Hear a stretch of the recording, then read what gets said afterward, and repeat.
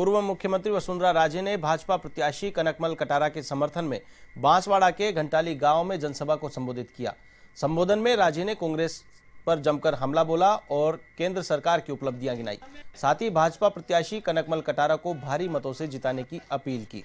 जनसभा में पूर्व चिकित्सा मंत्री भवानी जोशी, पूर्व राज्य मंत्री जीतमल खाट और राज्यसभा सांसद हर्षवर्धन सिंह सहित भाजपा के कई नेता मौजूद रहे। जो व्यक्ति हमारी